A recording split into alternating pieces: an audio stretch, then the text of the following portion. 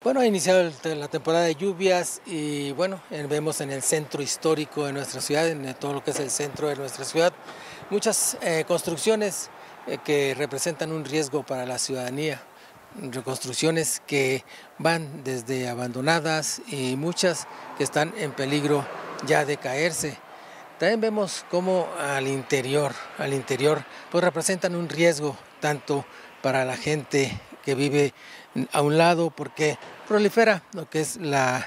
fauna nociva, puede ser ratas, ratones, arañas, alacranes, que es muy dado que en estas construcciones de adobe se dé que haya muchos, muchos alacranes. Entonces, esta es la situación, deberían de estar pues por lo menos acordonadas, acordonadas para que la ciudadanía que transita por las calles de nuestra ciudad no estén eh,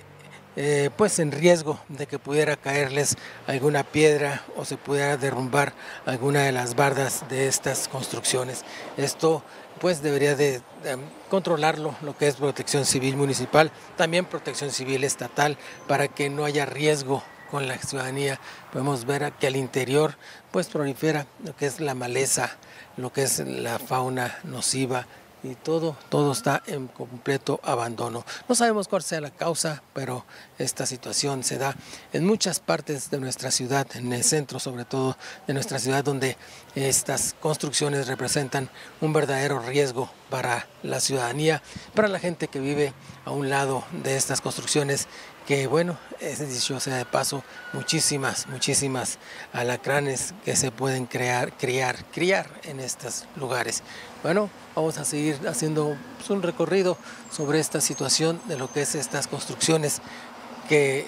representan un riesgo para la ciudadanía. Estas construcciones donde proliferan muchos animales, como ya lo dijimos, también nos comentan los vecinos que hay muchísimos, muchísimos gatos. Es necesario que la autoridad ponga un remedio a esta situación antes de que suceda algún accidente, algún percance con la ciudadanía que transita por las calles de nuestra ciudad. Para